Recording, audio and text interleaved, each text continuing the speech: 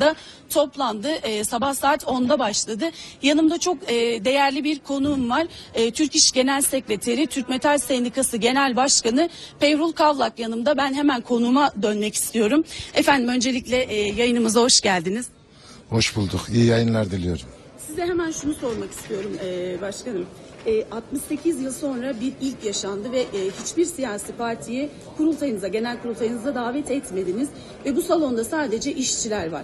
Neden böyle bir karar aldınız ve ilk izlenimizle izlenimleriniz neler? Öncelikle şunu söyleyeyim. Yani çok coşkulu bir genel kurul geçiriyoruz. Türk İş'in yaklaşık e, 300 delegesi var. Bir arkadaşımız rahmetli oldu. 300 delegesi var. Ama Türk İş Genel Kurulu'nda bugün yaklaşık 2000'e yakın 2000'den fazla arkadaşımız katıldı. Türkiye'nin dört bir tarafından bu genel kurula e, sadece genel kuruldan haberi var. Davet edilmemesine rağmen çalışanlar katıldı. Bu son derece olumlu ve çok coş- coşkulu bir genel kurul geçiriyoruz. Ee, kimseyi davet etmememizin temel sebeplerinden bir tanesi içe dönük yapacağız. Bizim o kadar çok sorunlarımız var ki bu sorunlarımızı kendi içimizde tartışmak istiyoruz. Yani siyasilerin gelip burada konuşması, daha sonra gitmesi, yani bizim bir sorunumuzda çözüm olmuyorsa biz oturacağız, kendi sorunlarımızı kendimiz tartışacağız. Ona göre de bir yol, haritası çıkartıp işimize yolumuza bakacağız. Yani bunun başka yolu yok. Efendim hemen şunu sormak istiyorum. Ee, genel kurulun gündeminde öne çıkan bazı başlıklar vardı ve Türk İş Genel Başkanı Ergün Atalay da bunlara dikkat çekti.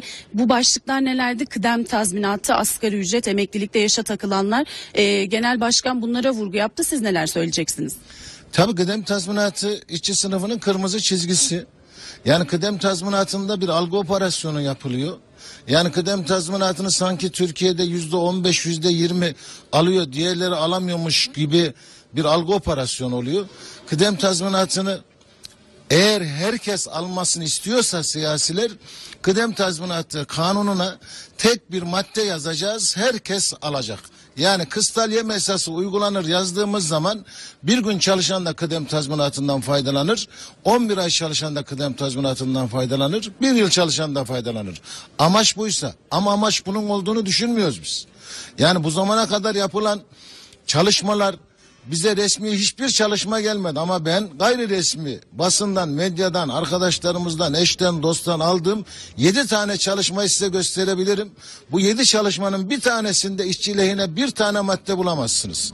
Yani 30 günü birinde 22 güne, birinde 15.4'e, birinde 12 güne yani buna benzer ve en sonda da yani resmi bir kişiye gelmedi ama aldığımız bilgiler doğrultusunda konuşuyorum.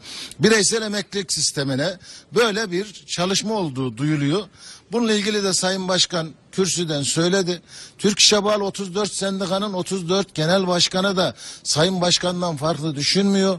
Onlar da her platformda, her toplantıda aynı şeyleri dile getiriyorlar. Geçen genel kurulda da biz bir karar almıştık. Kıdem tazminatındaki bir hak kaybı bizim için genel grev sebebi demiştik. Bunu genel kurul kararı haline getirmiştik. Bu senede bu genel kurulda da aynısını ay- gündem olarak aldık. Önergeyi hazırladık. Arkadaşlarımız imzasını açtık. Tahmin ediyorum 301 arkadaşımız vardı. Biri vefat etti. 300 imzayla o önergeyi divanda oylayacağız. Peki efendim başlıklardan biri de yine asgari ücretti. Asgari ücret görüşmeleri de devam ediyor. Buna ilişkin de başkanın e, açıklamaları oldu. 2578 lira vurgusu vardı. Buna ilişkin neler söyleyeceksiniz? E başkan bunun altında herhangi bir şey olursa çok açık net bir şekilde e, masayı terk edin. Bizim bunun altına imza atmamız mümkün değil dedi. Ona ilaveten ben bir şey söylemek istiyorum. Bu ülkede asgari ücretle çalışanlar bile yüzde yirmi vergi dilimine takılıyor. Yani gerçekten bu çok acı. Yani asgari ücretle en düşük ücretle çalışıyorsunuz ama bu ülkede bir kuyumcudan, bir doktordan, bir avukattan daha fazla vergi veriyorsunuz. Bakın bir örnek vereyim ben size. 2008 yılında vergi diliminin birinci dilimi asgari ücretin yani bir asgari ücretin 27 katıydı. Yani bugünkü parayla hesap yaptığımız zaman birinci vergi dilimi 54 bin lira olması lazım. ikinci dilim 110 bin lirası olması lazım. Bugün verginin birinci dilimi 18 bin lira.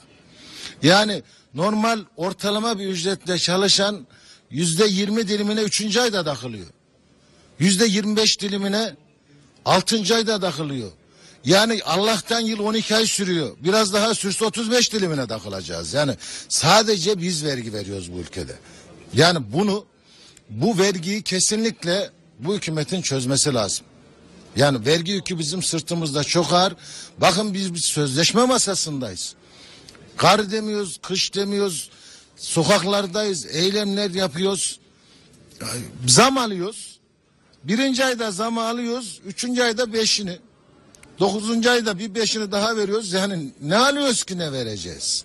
Yani bu gerçekten insanların canını yakmaya başladı. Bu konuda acil bir çözüm bekliyoruz. Efendim yayınımıza katıldığınız için çok teşekkür ediyoruz. Sizin eklemek istediğiniz başka bir şey var mıydı? Çok teşekkür ederim. Yani siz sordunuz ben de söyledim. Çok teşekkür ediyorum. Evet Erkan, e, Türk İş Genel Sekreteri, Türk Metal Sendikası Genel Başkanı Pevrul Kavlak konuğumuzdu. E, 23. olağan kurultayda hangi başlıklar öne çıktı, neler konuşuldu bunları aktardık izleyicilerimize.